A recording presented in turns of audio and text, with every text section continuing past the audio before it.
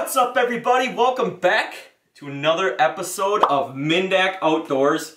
This weekend I'm doing something a little different. Got some rain in this weekend, so I'm gonna spend some time inside preparing some fish for something I just bought. An electric smoker, guys. I just bought this smoker. Uh, it actually just arrived today, a couple hours ago. I went outside, picked it up, and started unpackaging a little bit, but I'm gonna smoke some fish this weekend. Those salmon that we caught back in June. Boys, look at that fish. Get some close-ups of that one, Braden. Oh my goodness. What a freaking fish. I had them uh, vacuum sealed in the freezer and all ready to go for when I decided to do this. So this is my first time using this smoker. So I'm gonna kind of walk through the basics. Tried a couple different recipes that I haven't tried before we're gonna see how they work out, guys. So if you want to learn how to smoke some fish, this is gonna be an episode that you're not gonna wanna miss. So stay tuned.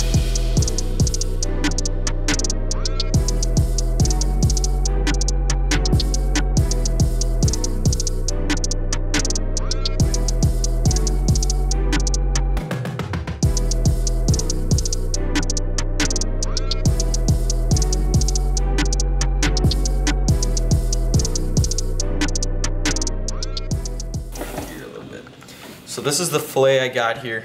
Uh, this is the other side of that one. And basically I'm just taking my fillet knife, taking a pretty good sized chunk, snack size chunk off, just uh, cutting it. Just like that, putting it in the pan. There again, I'll pull those bones out after I get this all cut up. I'm gonna cut another slice, snack size slice here. That one in there, and this one right there. So there's another cut up filet. Just gonna wash everything off a little bit here. All right, guys, once you get your salmon perfectly prepped, you're ready to make your brine. So, what, uh, that was close. What I'm gonna do is I'm gonna mix um, quarter cup of salt here. Just put a little extra in there, brown sugar some brown sugar here. I'm gonna put about four cups of water in here. Uno. I'm gonna put a little extra in just because I did add a little extra salt and a little extra brown sugar. And I'm gonna add a little Cajun spice to this one just to kind of give it a little more spice. Um, the other one I'm just gonna make plain brown sugar and salt get all the juice mixed up. Like I said, I am gonna add a little bit of Cajun seasoning to this. This is gonna give it a, a good spice Cajun to it. Once you get that added, you're gonna wanna stir this all up, get it really, really well mixed. Give it a good sniff. Once you get everything dissolved, you're good to add this to your pan. So I'm gonna pour this over top of the salmon. Make sure we get it evenly spread. You can see those Cajun flakes just sticking to the salmon already. It's gonna be really good. There you have it. That fish is going to brine for about eight hours. And uh, we're gonna come back to it after about eight hours. We're gonna take these pieces out. We're gonna let them dry, maybe one to two hours. And then we're gonna get them in the smoker. And uh, I can taste it already. It's gonna be great. It's been a day since we got the salmon put into the fridge. Um, I took them out. I took them out of the brine this morning and let them sit for about two to three hours so they could kind of dry off a little bit.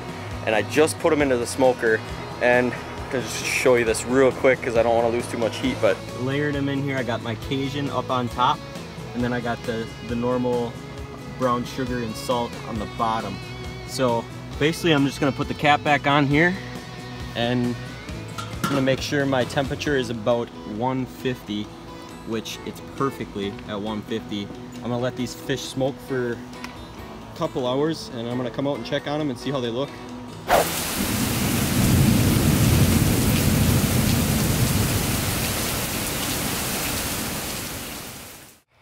Oh, wow, guys. That got absolutely crazy. We had some pretty significant weather come in right as I was about to take that salmon off the smoker. So I didn't get any time to record it, but I did get the salmon off quickly and it literally started raining like seconds after I put the smoker away and got it all cleaned up. So I'm sorry I didn't get to record that, but it poured. So the salmon turned out great. I don't know, you guys saw as I was cooking it, I waited for it to get a little crisp and brown on the outside. Um, you basically want it to be like that crispy brown color on the outside and then the inside is just perfect. Um, there was perfect moisture in that salmon. It tasted great. There wasn't too much smoke flavoring to it and it had the perfect sweetness. All in all, it was a great catch and cook. I know I caught the fish back in June, but it was finally nice to smoke up and eat and like I said, it tasted phenomenal. So if you ever get a chance, guys, to smoke up some salmon, I highly suggest it. It's a very good idea, and there's a lot of people that like it. So look forward to some awesome hunting videos to come here in the near future. Also, guys, if you want any of this DUX, Sweet DUX apparel, I'm going to put a link down in the description where you can cop some of this awesome merch. Thank you so much for watching this catch and cook video if you guys liked it and you want to see more videos like this, obviously put together a little better than I had it put together uh, without the storms and all the jazz that we had. If you like these recipe videos, please let me know and I will uh, I'll show you some other ways that I prepare my salmon or really any fish I catch or even goose, elk, deer, anything. So guys, thank you so much for watching and until next time, peace.